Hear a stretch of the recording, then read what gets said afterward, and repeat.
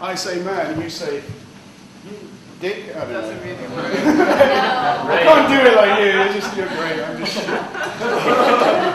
okay. Anyway, uh, the last poem. Uh, I finished my set on this last time um, because it's, uh, it's a, uh, as I said, I, I really like it. I like reading it. I think it's a really good poem. It's about. Um, I'm fucking biased. Give me a break, you know. if I write shit and I hate it, then what am I doing, you know? Um, uh, and it, it's kind of about. Though. Uh, it's, it's kind of about it's about seizing that moment, that you know that uh, that um, that thing, whatever the fuck it might be for you, but that thing you kind of go, yeah, okay, I'm going to do that, whatever it is. I'm you know not just about writing. Anyway, it's all coming back to me now. In this wall-gated community, in the heart of this painted city, quickly seeping back from heart to mind. I've been away from this place, this familiar face, this reality of space and time, wandering on faraway shores through tattered paint chipped doors, leading nowhere from no time back to this.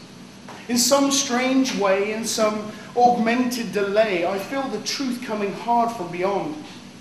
Writing words because the page is white, no more. Acting strangely for unwanted attention, no more. Hoping and not doing, no more.